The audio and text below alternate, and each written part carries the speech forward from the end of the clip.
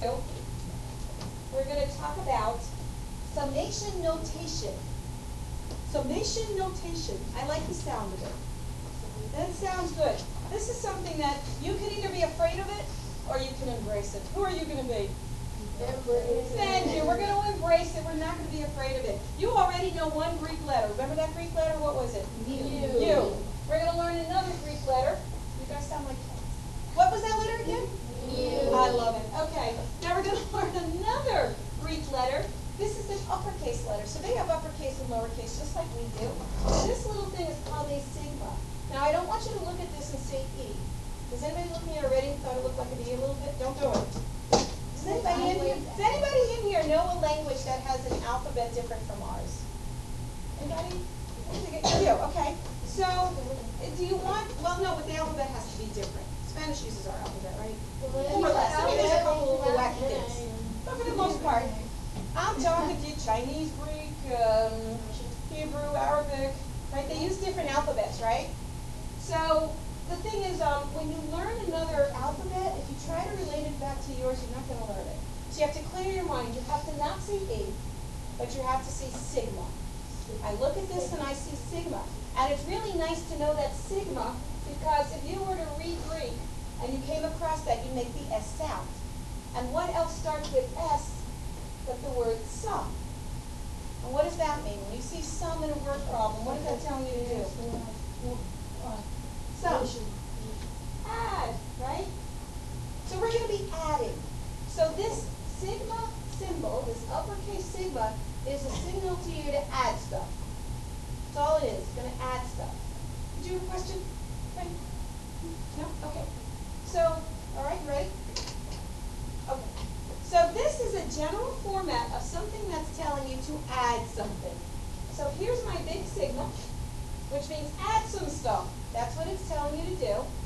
And we've got a bunch of other junk around it. So let's look at the junk. Well, this is telling you what should you add. This kind, there's going to be an expression next to that sigma symbol. This is what you're going to be adding.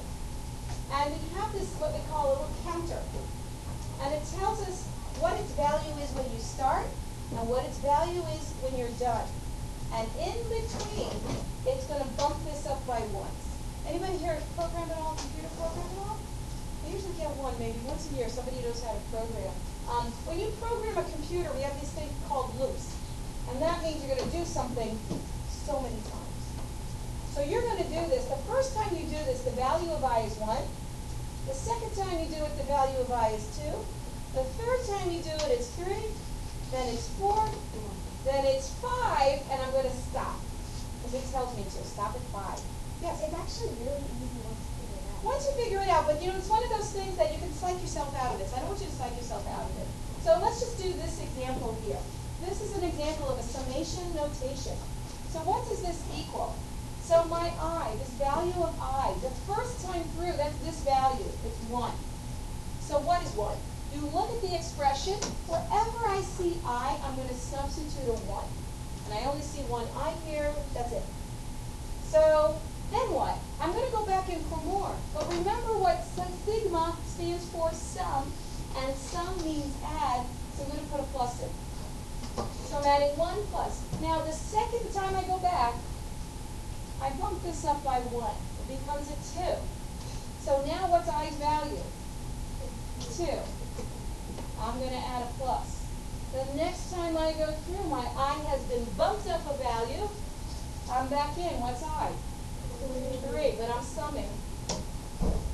Bump it up again. I is now four, so what do I have here? Bump it up again. Now do I keep going? Do I stop? I stop. Why do I stop? Because the five. That's the five. So this this thing right here, which takes up one little space, stands for all this. And then we can add it up. Three, six, four, fifteen. Hope that's right. Good, I got it right. So it's kind of a shorthand. It doesn't look like shorthand, but it is. Now we use this sigma, we use it a lot in math. Now we're going to use it a whole bunch with our statistics unit, but it's used in other places in math as well. You'll see it again in algebra too. So it's coming back. It's a good thing to know now. Yes? Isn't it just easier to one for two? Well, what if this went up to 100? Right? So, you know, there's gonna be some, when you get to algebra two, you're gonna see some with this little symbol on top. Anybody know what that little symbol on top is? What is that? Infinity. You oh, wanna Oh, write that down? I don't. I don't wanna write all those down. So again, don't fight it. Need your mind open. Don't fight, who's gonna fight it? Don't fight it. I'm not gonna let her fight it. Okay, so that's what that is. Let's do another example. Summation. I equals one to three, three I. So let's see if we can apply what we got here. It's saying add these three i's, add them. But the first when I start, what's i's value? So I can three times one. Wherever I see the i, I make that substitution. Plus. Okay, what's i's value now? Two. Two. two. So what am I gonna write here? Plus. What's i's value now? Three. Three. So what am I gonna write? Do I keep going or do I stop? Stop. I stop. So this is three plus six plus nine, eighteen.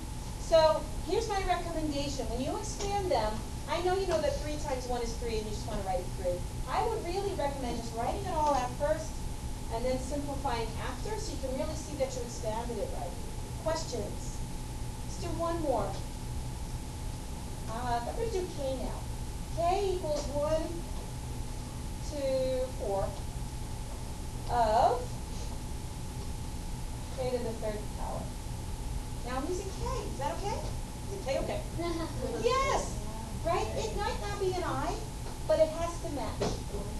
They have to match. Now, if this had a k and this was an x, you would not be replacing with the value. They have to match. So let's see what I got here. What's my first term going to be in this sum? What's k when I start? One to the power three. Then what? Plus. Don't forget your plus. I'm adding. Second time through, what's k's value? Plus.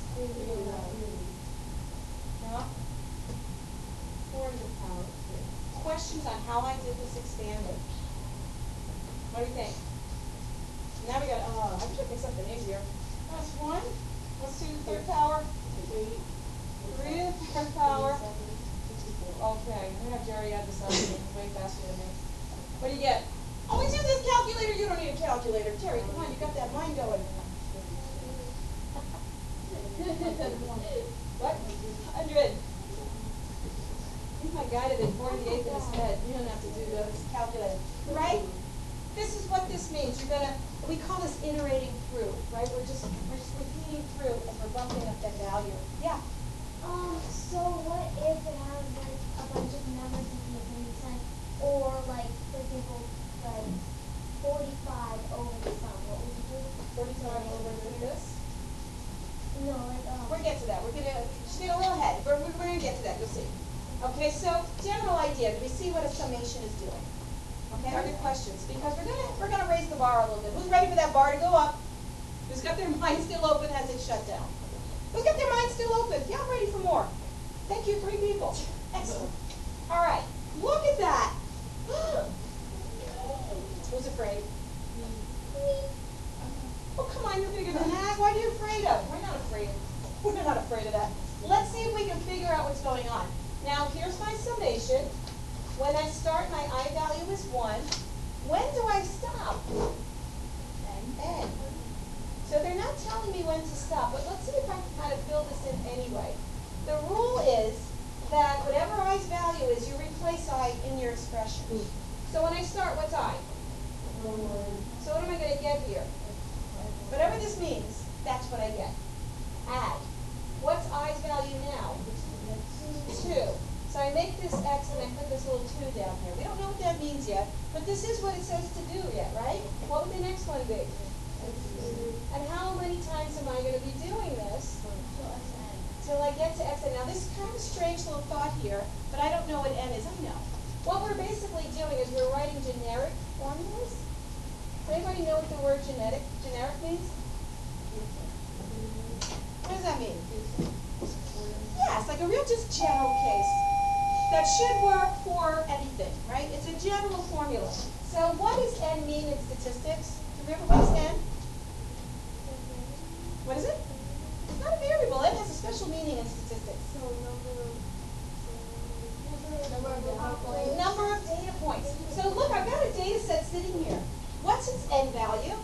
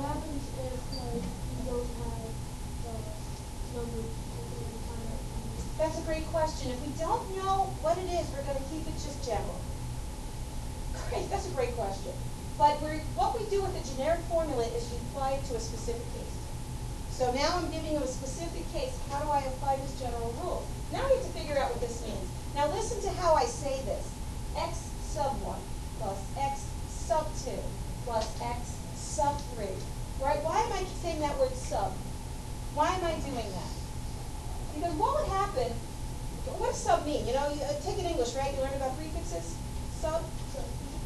Under? Under? So look where it is. Should we confuse this with being up in the top here? Where do we put stuff in the top? The superposition. What goes there? Exponents. Are these exponents? They are not exponents. They are position. They are location. And how do we read this? You can read this as the first x. Can read this as the second x. Because the problem we have, so statistics has a lot of these um, little rules or these little conventions they follow. The letter N always means how many data points do I have? Well, X means your data. I have a point of data, we're always going to call it X. But look at all these X's, I've got six X's. How do you know which X you mean? So what they do is they say, well, why don't we just label them? This will be the first X, this will be the second X, and so on, so that I know which X you're talking about. In this data set, what is X sub three? Eight. What is X sub five? One. Fifth X. So it's just a locator, it's just a positional thing. So now, right, I've expanded this out, can I replace it? What is X sub one in this situation? 4.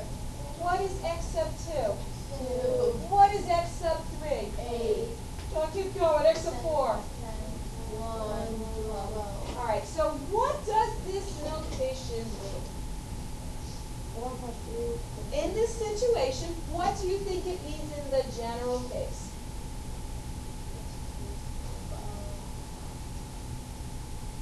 What did we do in the specific case? Look what we're doing. You're adding. We're adding, and what are we adding? What numbers are we adding? We're adding these numbers. So what do you think this means? Add what? Add your data. Add your Add. data points. That's what this means. Yes, ma'am. So the n on top equals six because there are six numbers there?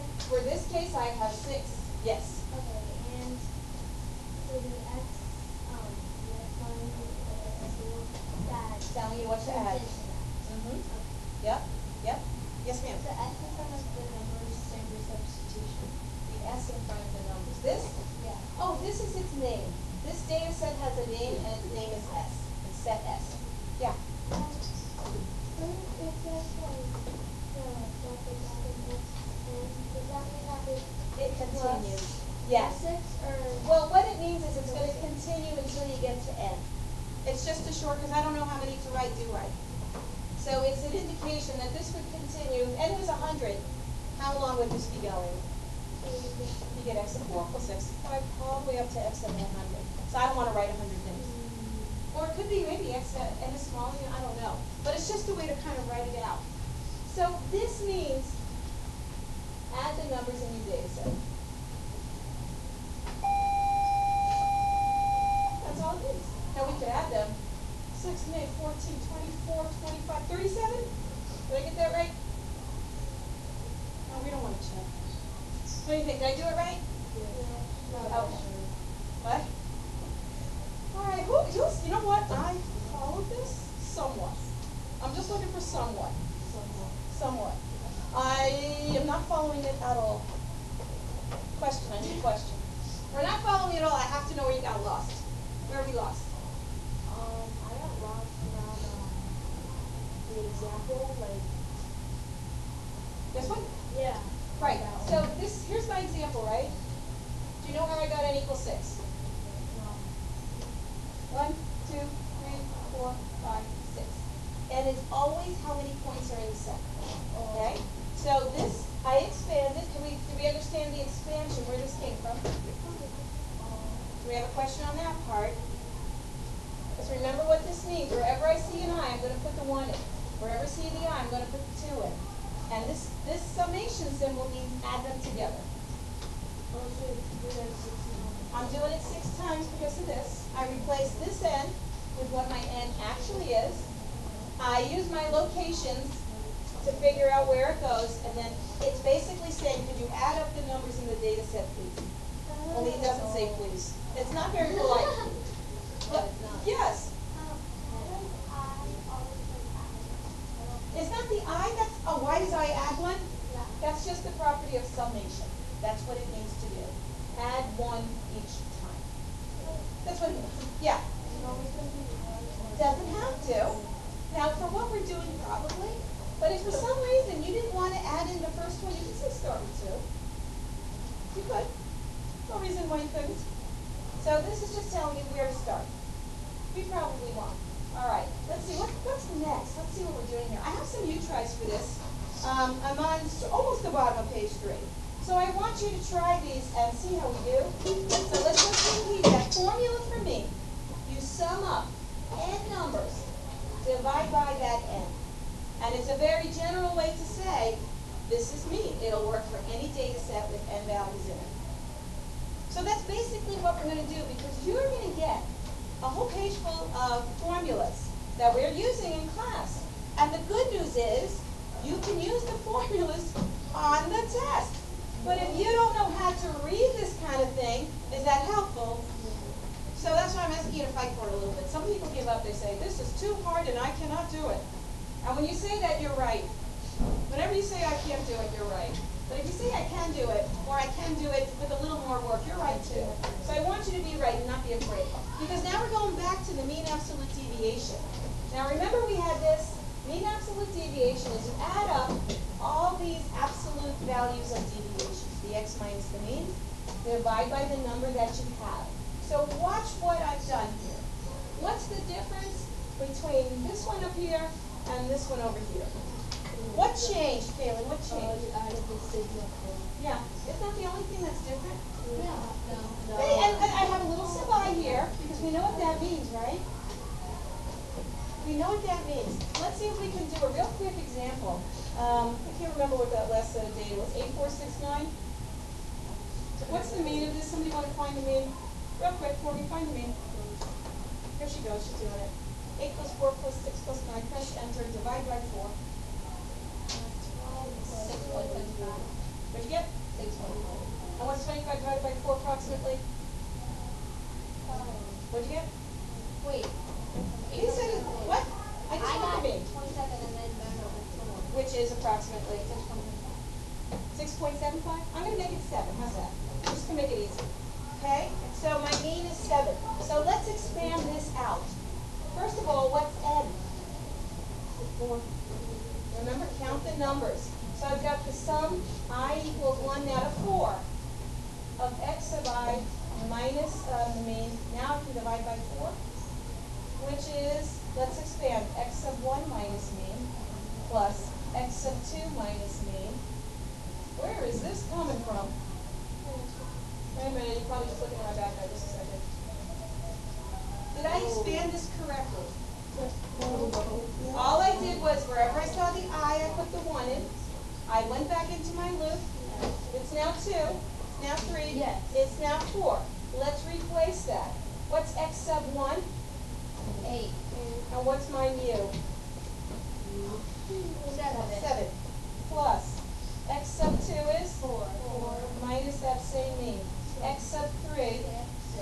Minus the same mean. X sub four over four. Now think about what we did on that worksheet. I broke it down a little for you, right? Isn't this what you did? You took the number, subtracted the mean? One plus, uh, that's negative three, but I'm taking absolute value. That's negative one, but I'm taking absolute value. Isn't this what you did for homework? You found these Yeah. distances. It's the same thing. Isn't this the formula? Yeah. Yes. So if you get this, I'm giving it to you on the test. You can have it. They're giving it to you on the SOL. You can have it. Now, if you're saying, I can't do this, that's just, then it's not going to help you.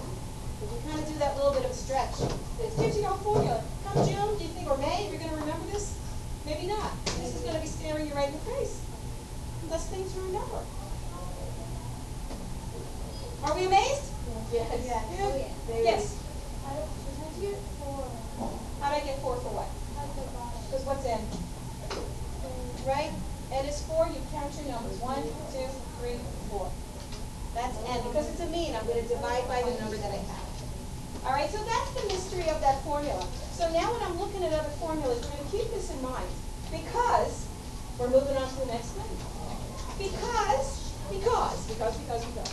We learned about mean absolute deviation. Mean absolute deviation tells me, on average, how far each point is from the mean, right? We're going to learn about another measure that really tells you the same kind of thing. Yes?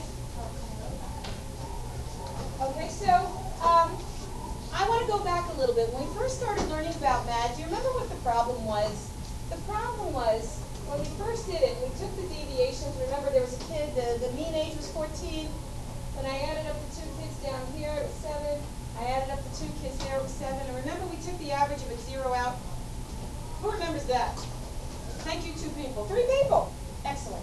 So the, the way they worked around that was they said, why don't we take absolute value? That way we know it's positive. So that's one school of thought. There's another school of thought that says, well, there's another way to guarantee we're going to have positive numbers so that they want it up to zeros. And that way is to square it. And then what does squaring something mean? To multiply it by itself, right? Two factors of that number. Why does that guarantee no negatives? Why does squaring something say there won't be any negatives? How come? Because even if you do square a negative number, Wow, that's fantastic. Even when you do square a negative number, let's say I have negative four. What's negative four times negative four? Positive sixteen. So squaring it is another way to guarantee there's no negative numbers here. So why don't we do that? We'll find the distances, and then we'll square them, and then we'll average the squares instead of working with absolute value. Does that make sense? Yeah, that makes sense. So that's what they said to do. And when, when we do that, we get something called variance. Variance is when you add up all the squares, and then you divide by however many you have. That's variance. So let's see here. Um, I have a formula. Let's see if we can kind of pick it apart. So summation, I goes from 1 to n. Now if you remember what MAD was, it was summation, I goes from 1 to n of the absolute value. Look at this one, it's the summation of those distances, but squared. So now it's saying what you do is to take each x, subtract the mean, square it for each x. Take each x, subtract the mean, square it. Add them all together, divide by the number you have. We're taking the average or the mean of all those squares. That is variance. And then look at this, what's going on here. This little thing here, I don't want you to see an O. This is another Greek letter, and to make it just that much more confusing, it's also sigma, but this is the lowercase. Uppercase sigma means add stuff. Lowercase sigma relates to this. Oh, that's not fair. Do it. Everybody's got their head in their hands. Oh, oh we can't, we can't possibly do, yes, you can. It's Greek class, get used to this math, Greek. So, when we say sigma squared, remember how we got here? We squared a bunch of stuff? So we say sigma squared, that's the same as variance.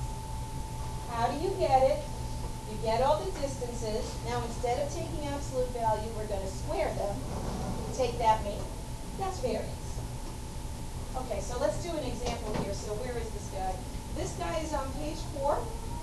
Uh, the first kind of set of boxes on page four. Everybody finding it? So again, I've got a set of data here. This is data set S. It has these values in it. I've already calculated the mean for you. It's five. Let me put the mean up here. I can see it. We're going to do the exact same thing that we did for um, which was Remember how that's called a deviation? We're going to find those. What's 1 minus 5? Negative 4. What's 3 minus 5? 4 minus 5. 6 minus 1. Yeah, okay? this is not new, right? Didn't we do this when we were doing MAD?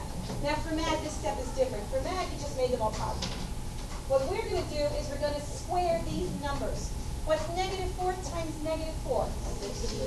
Negative 2 times negative 2.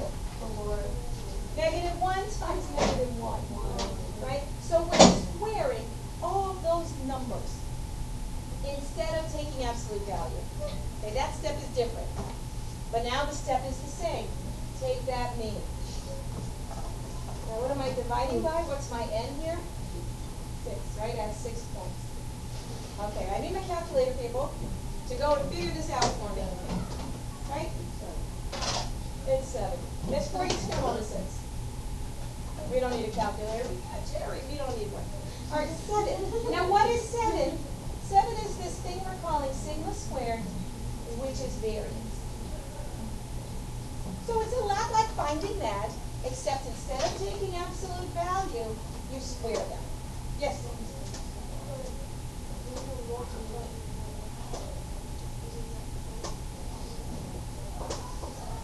That's a smart girl. But I'm squaring them. Aren't they getting really big?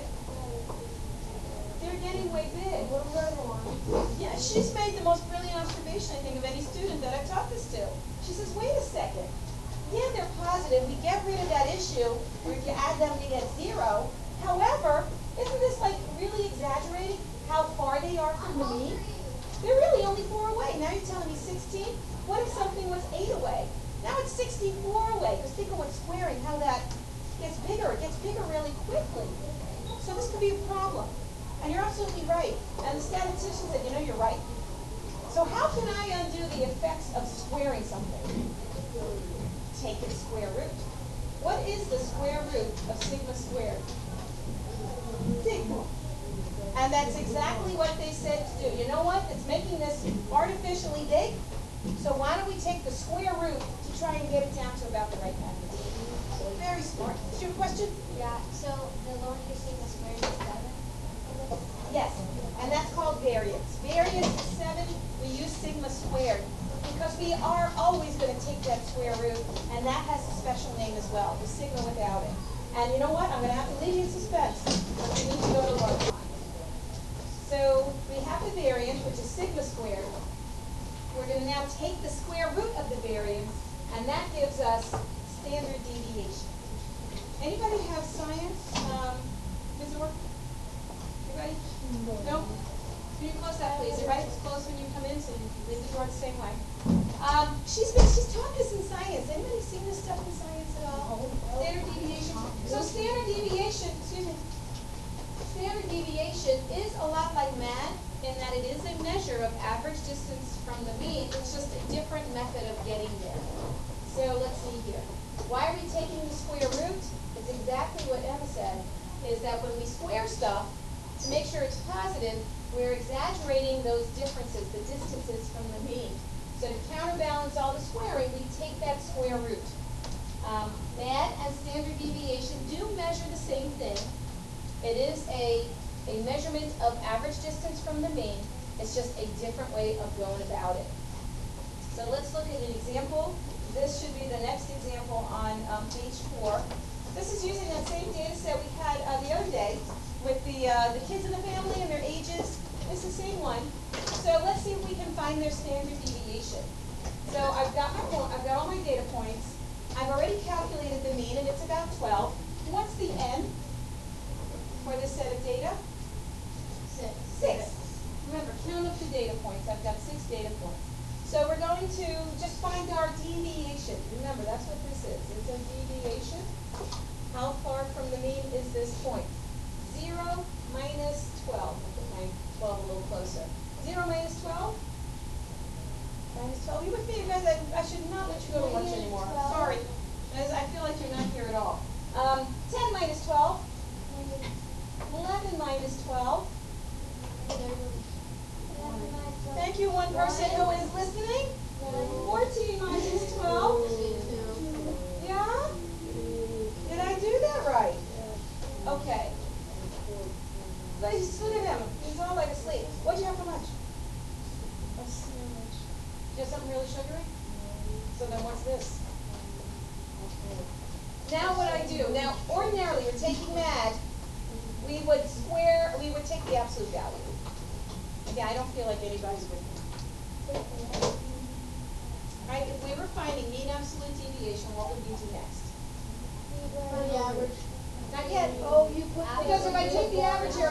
Zero, so what would I do?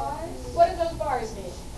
The, um, order of. Absolute value, right, so I make them all positive. We're using a different method, this method says square the values. What's negative twelve times negative twelve? Negative two times negative two. Negative one times negative one, right? We're squaring these values. Now we can go ahead and take that mean. Dividing by six? The what? That's n, right? I have six points. So when I do all this, and I went and I did this before, I got two hundred twenty-six over six, which is uh, approximately thirty-seven point seven. Anybody do it already? You got to know anybody? That's what I'm getting, I hope it's right. And that's the variance, big number. And it's, look how big these get, hundred forty-four. I mean, you're right, they're really exaggerating those distances. Don't exaggerate it, we're gonna take the, the square root. So this piece here is variance. If I take the square root of this, um, which is gonna be six point something, right? Six point one four approximately. I have found the standard deviation. Alright, so what did I just find here? Let's remind ourselves, we've seen this data before. We found the mean absolute deviation for it. The mean absolute deviation came out to four point seven. If you were to take the absolute values of these numbers and average them, find the mean, you would get about four point seven. So they're different, aren't they? Why are they different? Well, because we use a different method to find it. We did some squaring first. The standard deviation is gonna be a little bit bigger. Why is the standard deviation gonna be a little bit bigger? Because it's standard, why? Because we squared numbers to find it, right? Even with taking that square root, I mean, if these numbers were really big, they're gonna be a little bit bigger, just a little bit bigger. Yeah. So, in what case would you use squaring instead Oh. That's like a, that's like a great question. When do you use one over the other? And it depends on the situation. I think the best answer I can give you is that many, many statisticians are gonna use the standard deviation. They like that it's a little bit bigger. It leaves room for error, right? Um, remember we talked about error using a sample? That, that introduces error when you do research as, as opposed to doing a population. So all the formulas that we're using are all gonna use standard deviation because this kind of, I want the, the bigger numbers to be exaggerated just a little bit in case there's a mistake somewhere. Because standard deviation, as you'll see, when we start looking at what real life applications are for this, um, it could be a matter of life or death. Then that's kind of like a scary thought. But standard deviation is used to decide, you know, is some kind of uh, something in parameters that I need it to be or not. So some of them prefer this because it's, it's kind of a little more cautious than this one, though math's fine too. We just don't see it used as much. But it, it's a fine one, and I, I don't have a real pat answer for that, other than if you want to be kind of a little more conservative, standard deviation is here. Why, why don't you say it was more correct?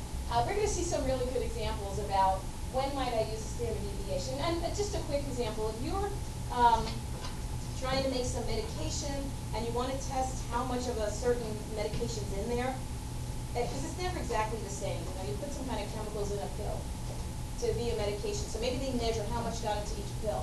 They're going to say it has to be within a certain range of values, and it's usually within a standard deviation or so of it.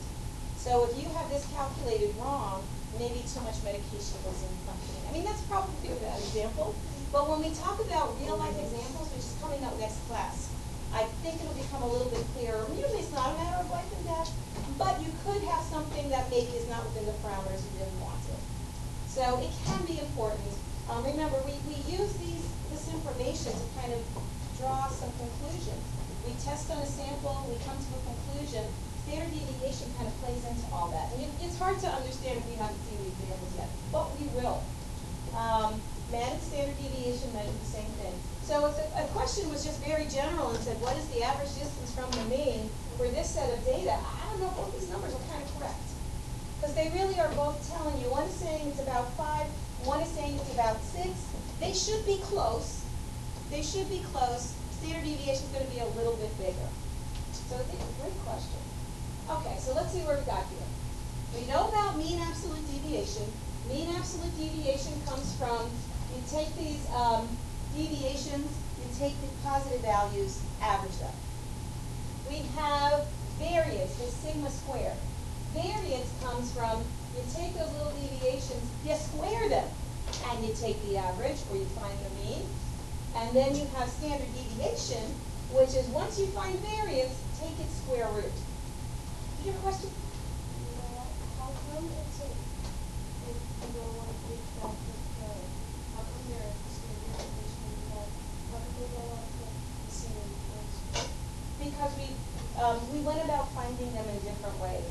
And the fact that we're squaring them will make it a little bit bigger, even though we're taking the square root.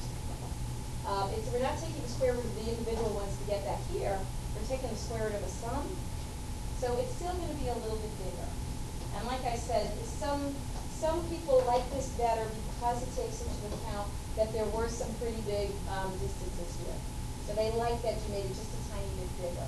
And it, it is really hard to see it without looking at some examples. Okay? Um, don't worry too much, I'm not gonna ask you, should you use that here or should you use standard deviation? I'm not gonna ask you that. Okay, so, yeah, oh, I saw sigh relief.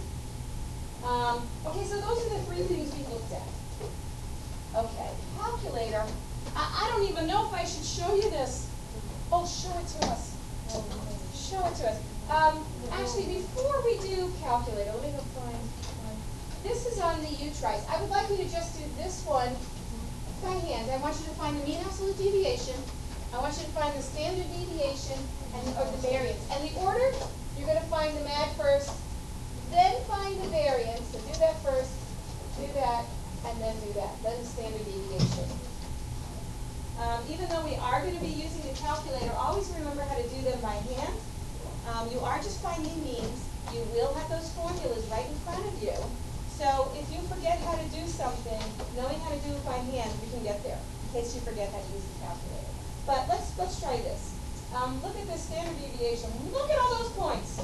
Do you want to do that one by hand for standard deviation? No, no. You have to uh, find the mean, You'd have to find all the distances, You'd have to square all the distances.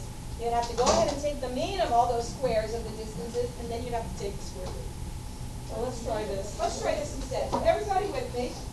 And I'm trying to see if this is on here. No. Okay. So we're going to enter the data. So do a stat edit. If there's anything in your list, clear it out. And we're going to enter this data. Oh, I'm going to set. It's not on any page, so we're going to have to do it from here. So I'll move this when we get there, but you're entering 40, 50.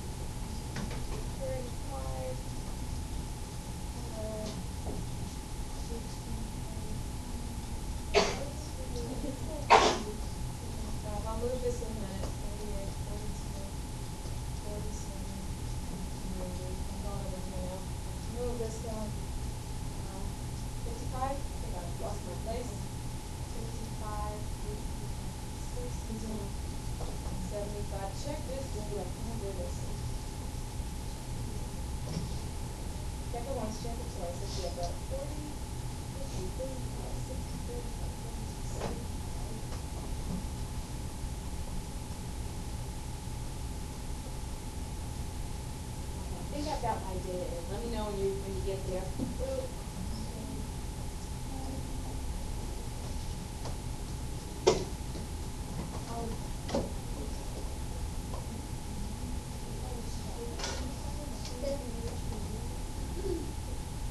All I'm asking you to do is put the data in the calculator, that's all I'm asking you to do right now. Put the data in the calculator in a list, list one preferably. Have we got it in there? All right, if I want to find standard deviation, first let's find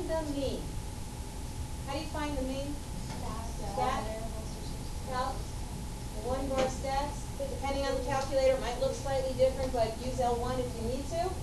Press enter, what's my mean? Well, now, now remember we used to skip this because it was like, we don't know what that is. Do we know what this is now? What do you think? Here's a sigma and x. What do you think this one is? No? No. It is adding up the x's. We're adding up all the values. If you add up all those numbers, you get seven point six. That's what that is. This one is, if you square the numbers and add them up, you get that. This one, I'll tell you what that is in a minute, but look down here. What's this thing? Standard deviation, see, it's a lowercase sigma. There's an x in front of it, it just says of these x's that you put in here. What's my standard deviation to the nearest hundredth? Sixteen point five. Hundredth. Oh, sixteen point. Hundredth means two decimal places. Well, was that easier? No. No, you'd rather do it by hand? No. You'd rather do it by hand? Okay, well, you go ahead, you're gonna do it by hand, we'll see you next year, because I'm looking at all these numbers. And what was, my mean was like some crazy number, fifteen point three, right, so now I'm subtracting from that. I don't wanna do that by hand, I'm guaranteed I'm not gonna do that right. I'm not doing that right. You know? So I personally think it's easier to just do what the calculator tell me. Now, what about variance? What if I want variance? Ah, what if I want variance? Variance is, um, Remember now, sigma means standard deviation. What is variance? Sigma squared. So remember, before, when we do it by hand, you get variance first, you take a square root. But if I have the standard deviation first, what do I do to get back to variance? Square it. Now, there's a couple ways to do that. One is to say, here's my estimate. It's approximately sixteen point four seven. I'm gonna square it, and I just press my square button. The variance is approximately two seventy-one point two six. yay. Approximately. Now, we can get a better guess at it, because when you run a one variable statistics through the calculator, it actually saves that data. So we can go and retrieve that data. You wanna see how? Say yes. Yes. Good. All right, we're gonna use the VARS button. See your clear button? Don't press it, but do you see it? Yep. Look one left. You see VARS? Press that thing. Oh, yeah. Press it. Now, look, go down the list, look at number five. What's in there? This is all the stuff that was generated by the one var stats. So you have to run one var stats first, and it's gonna store it. So that sigma value here, if I go to number four, and I press enter, it says sigma x, I'm just gonna press enter here. This is the value that it calculated. It stored the value for you. So I'm gonna go back in there, do it again, go back in there, press VARS, press number five statistics, I'm pressing number four, now I'm gonna square it. Because what happens when I square it, what do I get? But how did they? When I square standard deviation, what do I get? Variance. Variance. You? Oh. So here, this is a better estimate, two seven one point three five. How do you square? You press the square button. That. Square button is, Oh. see your seven, look left, look up.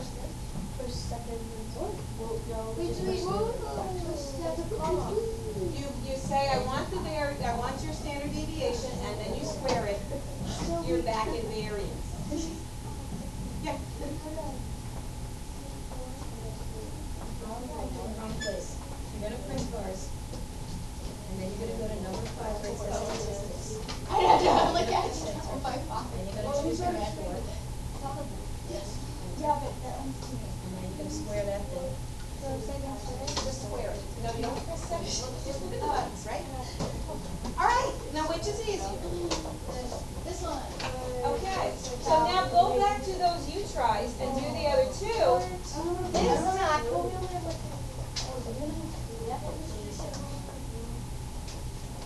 this time I want you to just put them in, find the standard, let's leave that alone for now.